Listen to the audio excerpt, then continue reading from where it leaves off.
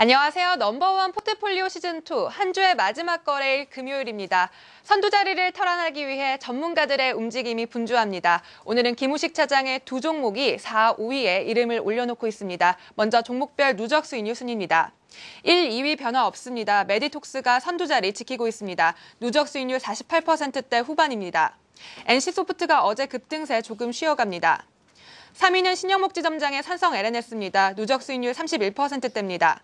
김우식 차장의 종목들이 4, 5위입니다. KMW가 누적 수익률 29%대, 위메이드가 누적 수익률 21%대입니다.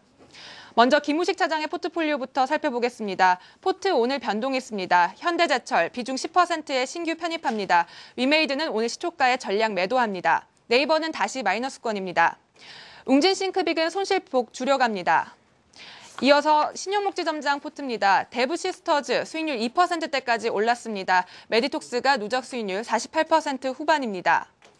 LG화학 보합에서 마감하면서 마이너스권입니다. KG이니시스가 누적 수익률 20%대로 내려왔습니다. 이어서 안종수 차장 포트입니다. NHN 엔터테인먼트 누적 수익률 다시 하락했습니다. 대한유화가 수익률 12% 중반까지 높였습니다. 마지막으로 이종일 차장 포트입니다. SFA와 영풍정밀 모두 어제 변화 없었습니다. 누적 수익률 그대로 유지해 나갑니다. 흥하해운이 6%대 중반까지 올라왔습니다.